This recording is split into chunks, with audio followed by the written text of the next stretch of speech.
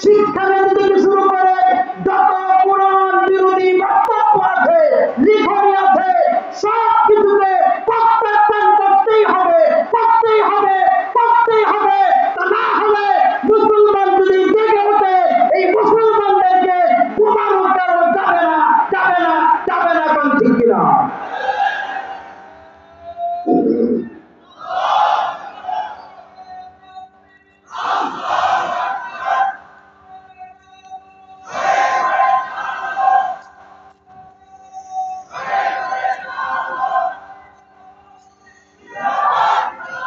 আল্লাহ কবুল করুন, আমিন বলি।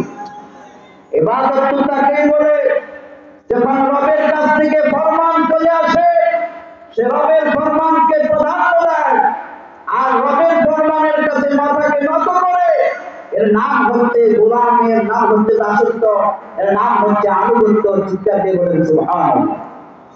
এবাদত বলেন তার ব্যাখ্যা বিশ্বনবী করেছেন। সাহি মুসলিমের বর্ণনা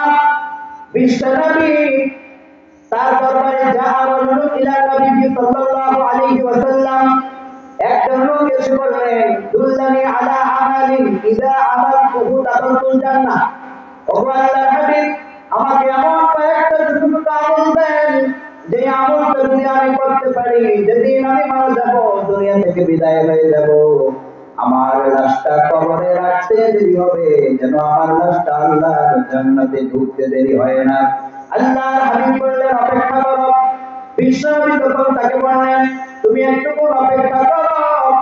সাহাবাকে বিশ্বনবী তারপরে বললেন, তাবুদুল্লাহ গোলামি করবা না ওয়া তুকিমুস